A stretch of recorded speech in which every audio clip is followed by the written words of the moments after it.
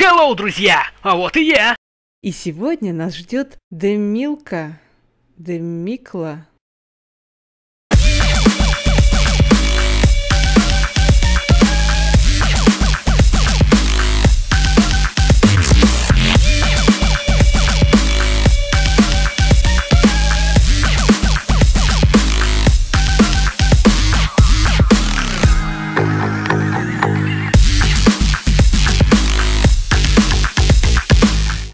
Демикла – карта для классического и соревновательного режимов игры, выполненная под сценарий закладки бомбы.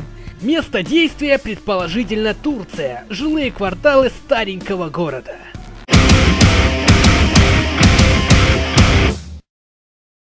Перед нами открывается классическая схема карты класса D. Оба бомбплейса находятся около зоны возрождения спецназа. Точка Б размещена заметно ближе, а бомбплейс А от базы отделяет простреливаемый террористами длинный коридор. Подобную картину мы уже видели на карте DDoS 2. Буквально на каждом шагу есть какой-нибудь ящик, за которым можно спрятаться. И разные хитрые места для снайперов. Например, из шаурмы отлично простреливается улица, разделяющая базу контртеррористов и бомбплейс А. А вот еще одно хитрое место.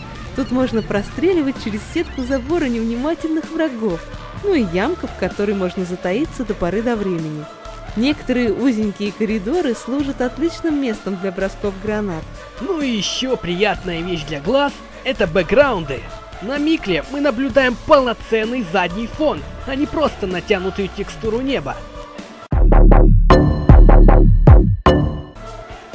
На карте есть места, на которые забраться мы должны были бы. Но авторы запретили это.